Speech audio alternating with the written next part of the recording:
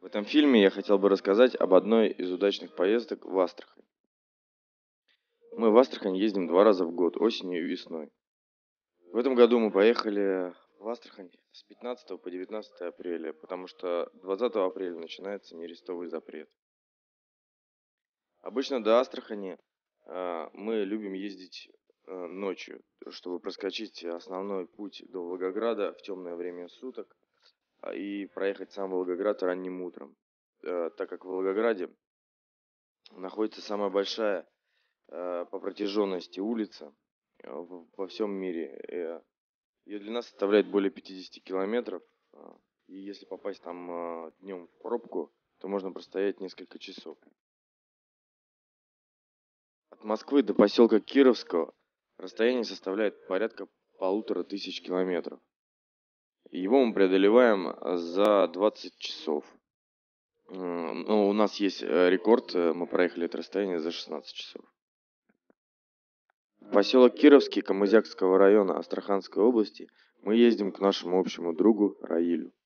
Раиль уже много лет занимается подводной охотой и знает в любое время года, где можно найти скопление рыбы. Каждый раз мы пытаемся найти свой трофей. У нас нет цели заготовить рыбы или ее продать.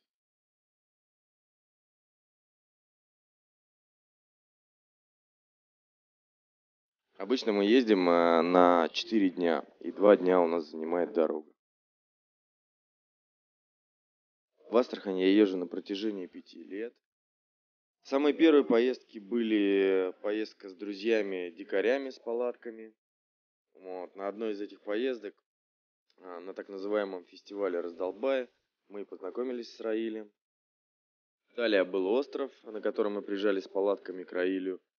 Вот. А сейчас мы ездим непосредственно в гостевой дом к Раилю, в котором есть все удобства, две комнаты.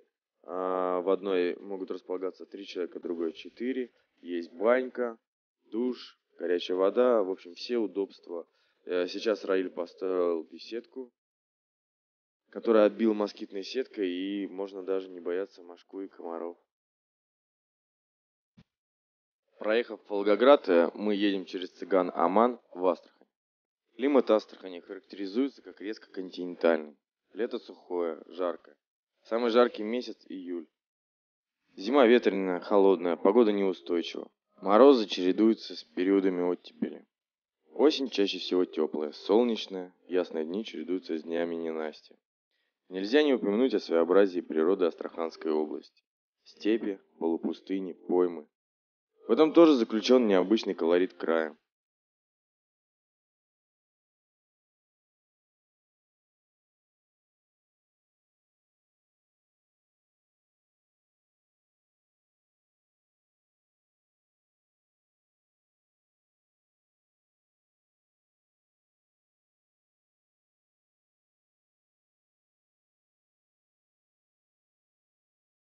В Астраханской области, помимо подводной охоты и рыбалки, достаточно много достопримечательностей.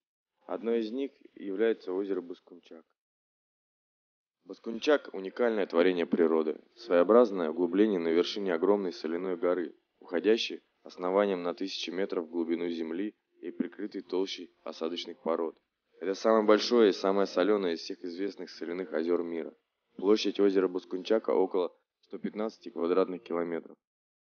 Он находится в Астраханской области, в 53 километрах к востоку от Волги. Рядом с озером Боскунчак расположены поселки Верхний Боскунчак и Нижний Боскунчак. Глубина залегания соли на озере Боскунчак достигает 6 километров. На данный момент идут разговоры о том, что чиновники пытаются запретить подводную охоту а, в Астраханской области. Подводного охотника пытаются приравнять к браконьеру. Если у чиновников получится запретить подводную охоту в Астрахани, то эта практика далее пойдет по всем регионам России, и вскоре мы окажемся вне закона. Как можно приравнять нас, подводных охотников, к тем людям, кто убивает рыбу электроудочкой или вылавливает э, сетями. А, теми, кто занимается рыбозаготовкой или ловит рыбу на продажу. А ведь многие даже не знают, что в нерестовый запрет у нас ведется промышленный лов рыбы. И это происходит на протяжении многих лет.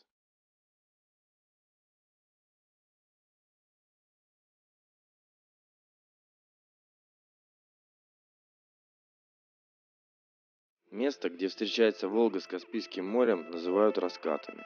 Природа, разнообразный растительный и животный мир, необычный простор, где хочется дышать полной грудью, завораживающий, ни с чем не сравнимый тончайший аромат каспийской розы, лотоса, увлекательнейшая трофейная рыбалка в любое время года, азартная подводная охота. Все это Астраханский край. Приехав в Краилю, мы собираем снаряжение, прыгаем в лодку и едем на охоту. То, что мы не спали практически сутки, нам нисколько не мешает. Когда мы видим такое количество воды, э, внутри закипает кровь.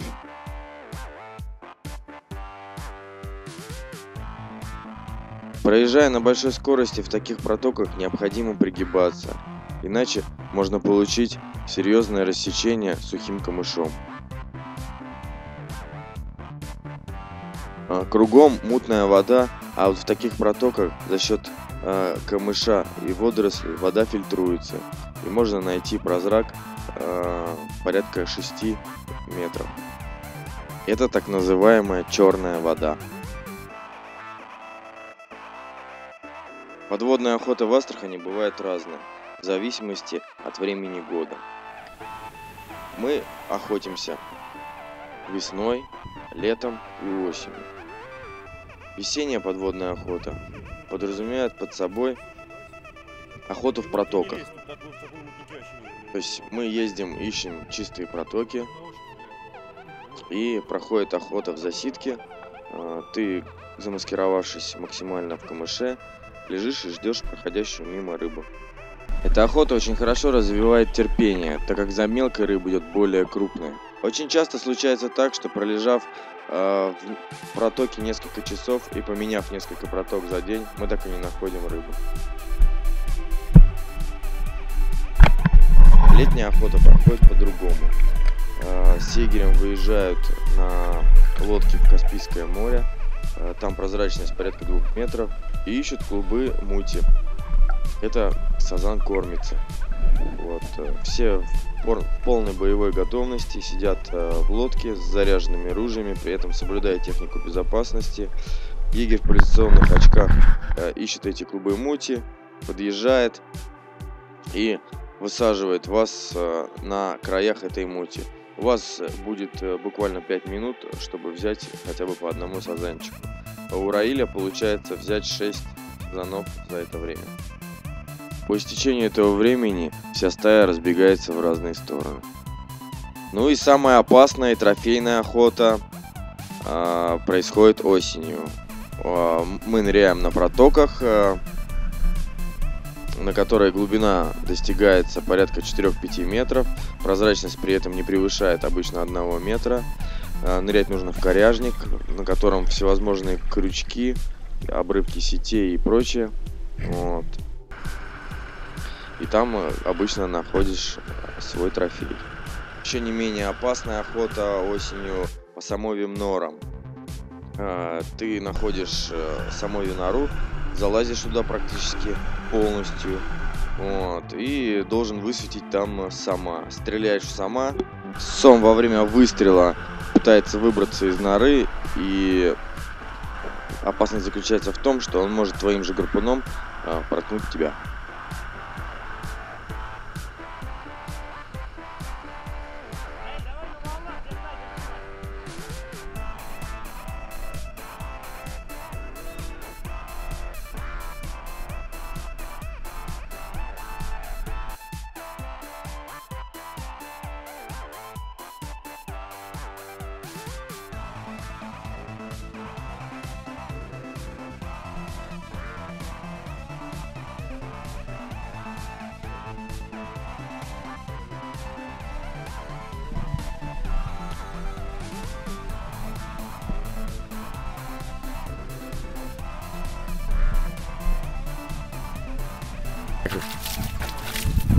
День, али вечер. Меня зовут Павел.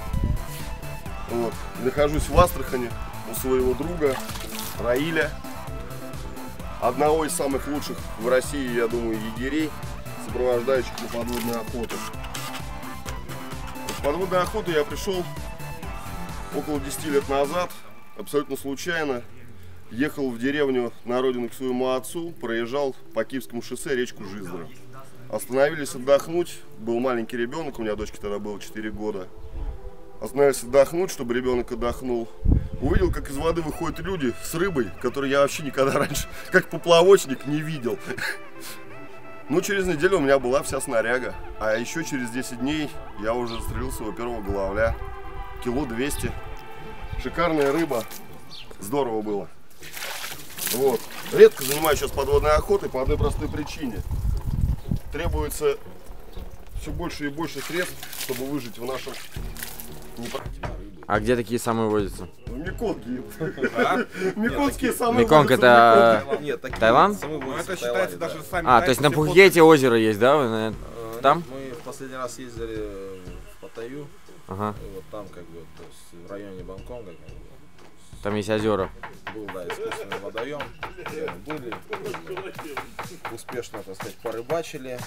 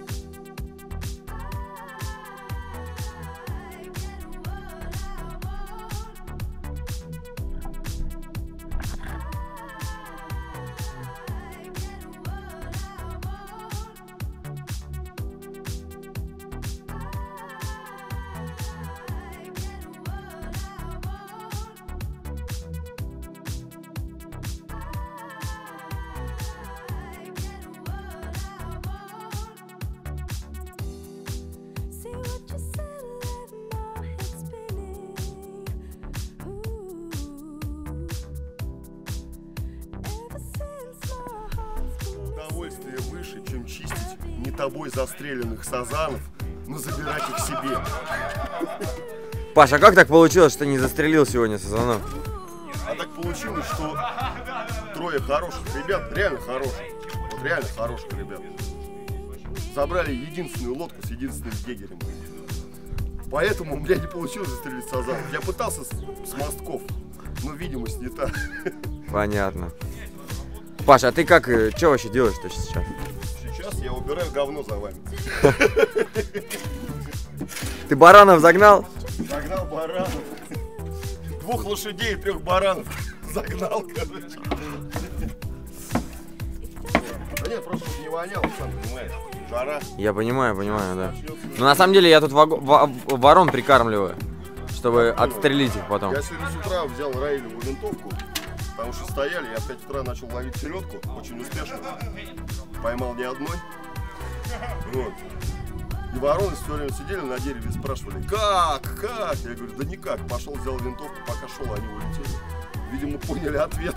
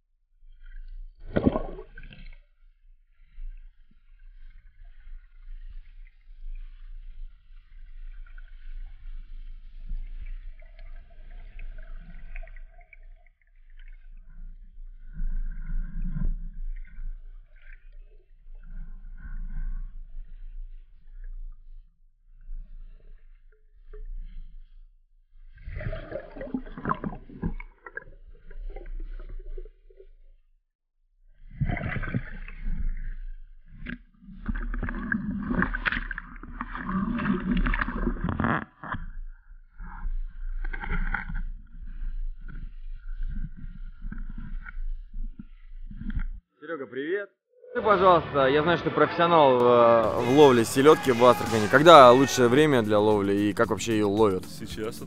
Она- Мусор, мусор сними с этих. Серега, а на какую снасть вообще, как это А все вот, ловится? вот. Сейчас Смотри. Вот такую снасть а, нынче ловит селедка. Леска и крючки.